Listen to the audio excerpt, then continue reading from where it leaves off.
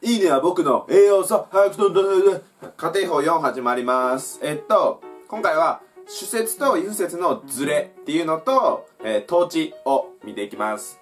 えっと主説と異不説のズレっていうのは、えー、過去の事実に反することを仮定してえー、現在の事実に反することを想像する。OK ですか？過去の事実に反することを仮定して、えー、今のことを妄想するって感じです。OK ですか？だからズレが生じてますよね。時勢のズレ。そういう時は何を使うねんって言ったら完了形。OK どんなんがあんねんって言ったら If he had gone to the doctor at that time he would be alive today. いきますか？あの時医者のところへ行っていたら彼は今も生きているのに。これ見てくれたら分かるように at that time と today at that time っていうのは過去形ですよね。today は今現在形。ずれてますよね。だから had gone had gone to っていうのを使ってます。OK ですか？でえー、っと he would be alive こっちは普通のえー、家庭法過去の文ですよね。えー、前の文は家庭法過去完了。後の文は家庭法過去。こんな風に合体して、えー、使われる時もあるよっていうのが、え今回の1個目です。OK ですか？ただそれだけです。はい。で、次に、統治っていうのをやるんですけど、これは、え学校とか参考書とか絶対書かれてるんですけど、if を省略する。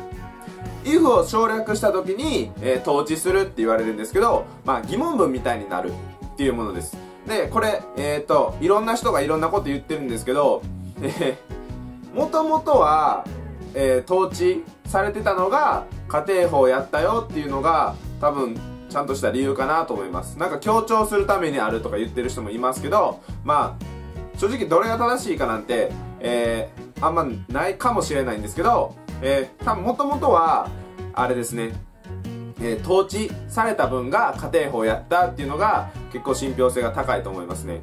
で、えー、それを、えー、もっと仮定、仮定してるっていうのを分かりやすくするために if っていうのを使っていったっていうのが多分歴史やと思うんですけど、そこまで覚えなくていい。ただもう普通に分かりやすいんで、if が省略されたら統治されるってまず覚えてください。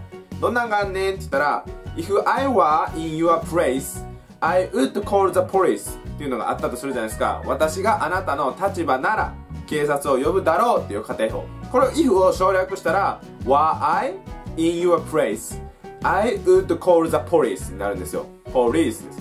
OK? で、えっ、ー、と、were I です。絶対。この統治の場合は。was は、えー、絶対ダメです。仮定法 I were って絶対言えますよね。えー、was でも一応言葉では通じるみたいな言うんですけど、えー、統治の時は絶対わです。だからもう家庭法は were しか使わんって思っといたらいいと思いますよ、B としてはね。OK? えー、こんな風に if が消えたら統治されるよ。というのを習います。OK? えー、適当に言っていくと、if you had studied harder とか、家庭法過去完了の文だったら、had が前に来ます。had you studied harder です。OK? それとか、if it were not for とかあったじゃないですか。これ if 消えたら、were it not for です。OK? えー、if it had not been for だったら、had it not been for です。いきますか？えー、前に持ってきてるだけです。他にも、えー、シュートとかのやつもやりましたよね。万一ってやつ。If anyone should call, please take a message. シュートの時はよくして命令文来るよっていうの大切って言ったよね。これも来てるんでね。えー、誰かが電話してきたら伝言を伝えておいてください。OK こういうのは if 消えたら should anyone call please take a message. OK なんとなくいけますよね。えー、次、えー、were to のやつどんなんかなって言ったら、えー、例文でいくと if the sun were to stop shining we would die. この前もやりましたね。こういうのがあったとします。太陽の輝き失ったら太陽が太陽が輝くのをやめたら私たちは死ぬだろうっていう文 if が省略されたら was the sun to stop shining we would die です。OK ちょっと気持ち悪いかもしれんけど普通に B 動詞前に持ってきてるだけです。OK 完了形の疑問文の作り方、えー、普通の B 動詞の疑問文の作り方にのっとって統治してるっていう感じです。じゃあ、えー、実際にどんな問題があるねっていうのは2問見ていきましょう。1問目。If I blah blah well last night, I would not feel so sleepy now. えー、選択肢1、sleep。2、slept。3、have slept。4、had slept。であって、えー、これ見てくれたら、まあ、if あったら仮定法疑えよって疑う、その後の文見ると、would 使ってるやん。もう if と助動詞の過去来たら仮定法って思ってね。で、えー、その、その次に気をつけなあかんのが語尾見たら last night と now やんな。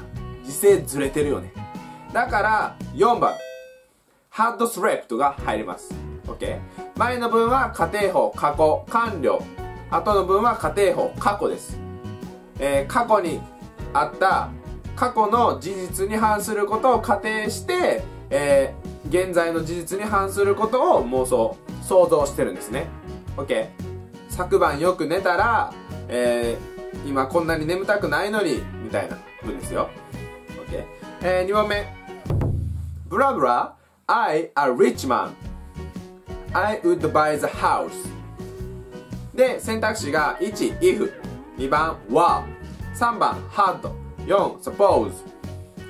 えー、見ます。そしたらまあ普通に would 来てるから家庭法若干疑った方がいいんですけど、えー、もし if とか入れたとしたら後の文が if, I, if I a rich man って動詞ないじゃないですかもうカッコの後の文が動詞なかったら、そこのカッコは動詞やと思っといた方がいいね。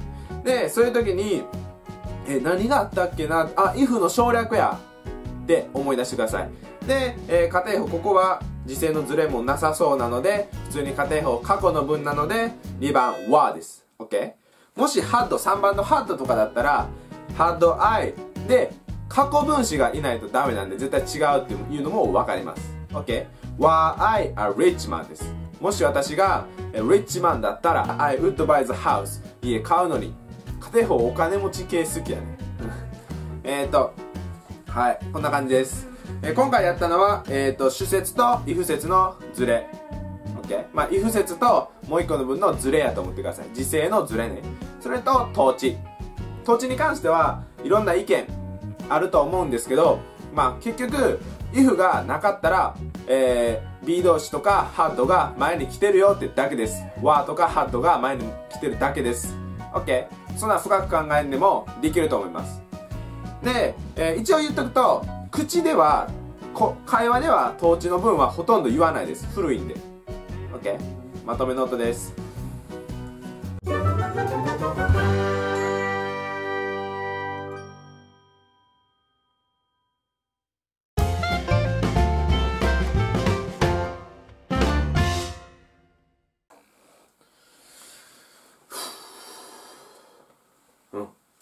家庭法3取ってからこの4取るまで実は2ヶ月ぐらい空いてるっていうねよかったと思ったら高評価お願いしますいいねって高評価のことね。バイバイ。